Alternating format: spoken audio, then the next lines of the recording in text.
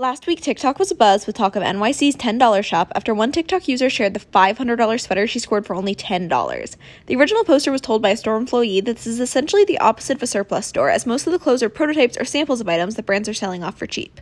For anyone looking to visit the store, this does mean that most of the items in the store are sample sizes, meaning small and extra small, or from one brand's spicy small.